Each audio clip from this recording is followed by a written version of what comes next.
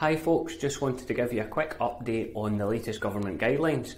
So as um, healthcare providers, we are open for all essential eye care.